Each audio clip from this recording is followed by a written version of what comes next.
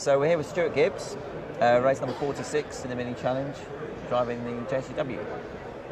Um, so Stuart, you've been racing since last year, since 2017, and uh, how'd you get on last year? Yeah, I did okay. Uh, obviously, as everybody knows, it was all new to me. The deal was put together probably three days before the start of the season, so I turned up at Oulton Park, looked at the car and was like, okay, this is exciting. Um, didn't know any tracks, didn't do no testing, so everything was, it was a real hard upward curve last season, but I did okay. I mean, out of 35 cars, I was 20th overall and I was only eight points off of 18th. So considering I didn't know any tracks or the car or nothing else, I thought I did really well. That's pretty good. So have you done any racing before? Yeah, I was. Uh, I used to do rallycross in Germany, which uh, is, as everybody knows, is totally different. It's half tarmac, half grass.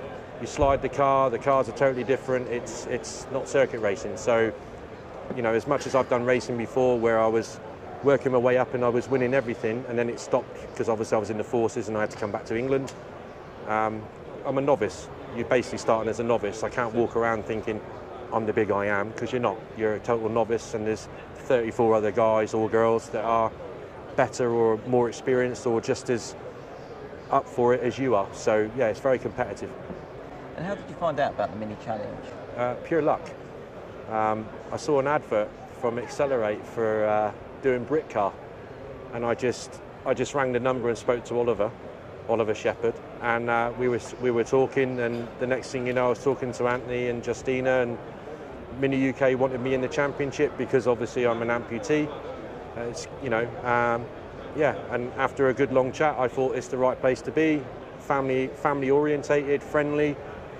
Um, yeah, nobody sort of walks around and treats you like dirt. Everybody treats you fairly. If you're in the wrong, you're in the wrong. Then it's forgotten about. And uh, yeah, and yeah, that's why I came to the mini challenge. So you mentioned you're an amputee. Yeah. How do you find driving the car? Because has it got any funny controls or any special controls on it? No, my car, which surprises a lot of people, my car is exactly the same setup as everybody else's. So I use the clutch for starting, um, going into second gear from the start.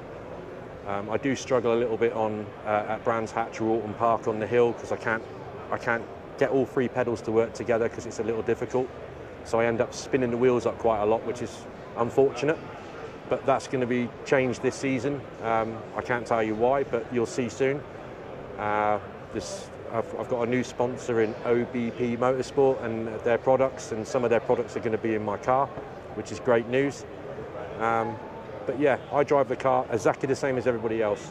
The only difference is I can't left foot brake, which I used to be able to do, and sometimes you feel it in your leg when you're going around fast corners, but it's not an excuse, it's just that's the way it is. So you don't have to use the clutch to change gear?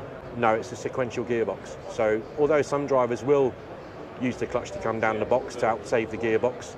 The gearboxes are actually designed as a sequential box that you only use it from the start up into second gear. Once you're in second, that's it. You don't need when the best way to describe it, if you're watching a motorsport event and you watch the cars and you hear a lot of popping, the popping is when the gear changes are going on without the clutch. So how do you find the JCW Mini? Uh, great fun, but a lot of people look at the car and think, oh, it's only a Mini, you know, it's got a spoiler on it, it's that's easy. And then they get in it and have a go, and then they got a smile from ear to ear unless they've buried it in the gravel trap because they're extremely difficult to set up. They are very twitchy. Um, they're a car that you can take past the limit, but if you go too far, they're, they're not very forgiving. They will throw you off. Um, you have a lot of difficulty in getting uh, heat into the rear tyres, which sometimes is a, a real pain. Um, so during qualifying, you'll sometimes go out do a few laps. You'll come in, and that's what you're seeing is people swapping the fronts to the rears, just so there's heat in the rears. Um, there's a lot of setup on these minis. There is the closest thing to a touring car that's I think personally that's out there that's not a touring car.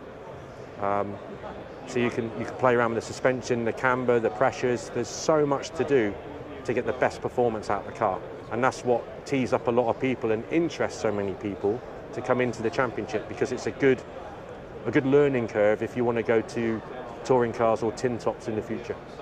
What team are you with in the mini challenge? I'm with uh, Excelr8, who run quite a number of cars, um, but they don't spread themselves too thinly. So you have four cars to a garage, and you have your own mechanic, and then there's a head mechanic. And it's not a case of nobody's approachable, don't come and talk to me. Everybody talks to everybody, everybody's really busy. And if there's a problem with somebody else's car, it's not a case of, oh, well, it's not my car. Everybody mucks in. The drivers share data, the drivers will help each other or even offer advice. It's a real friendly atmosphere. And obviously, there's independents who run as well and other teams, but it is a real friendly atmosphere at Excelr8. And, and that's down to Anthony and Justina and, and the guys who work for Excelr8. Well, let's find out about Stuart Gibbs. So, what's your background? I was born in Cornwall, sunny Cornwall. Um, I wanted to join the Navy and ended up joining the Army. Uh, I moved away from Cornwall in 1988 and I was in the forces for 14 years. And then I lived in Bristol and all the rest of it. And then I've just now bought a house back in Cornwall, so I've done a full circle and gone back home. But yeah, I was in the forces for 14 years. I was in operations in Belfast, in Ireland, Bosnia, Kuwait, uh, Afghanistan, and certain other places. Uh, it was a great experience. It was a, an amazing experience, to be honest. Um, but you know, there comes a time when you think uh, it's time to stand on your own two feet. Excuse the pun, and you know, see what civilian life is like. And it is totally different. It's not the same. But some people deal with it, some people don't. Um, I've done a numerous amount of different jobs, driven explosives all over Europe, um, been a doorman, you know, silly jobs, but at the end of the day, my dream job was to do this. And obviously, when I had the motorcycle accident, uh, I thought that was over. And then when I joined Blesma, who were a, a charity that help ex-veterans and soldiers with bad injuries, they told me to turn a negative into a positive. So that's when I started looking into it again and getting myself motivated. And now I'm here, I've done a season and looking forward to the second one. Well, thanks for talking to us, Stuart. No worries. And we'll see you on the 31st of March at Oulton Park. Raring to go and looking forward to uh, challenging for the title. Thanks Thank you very much. Bye bye.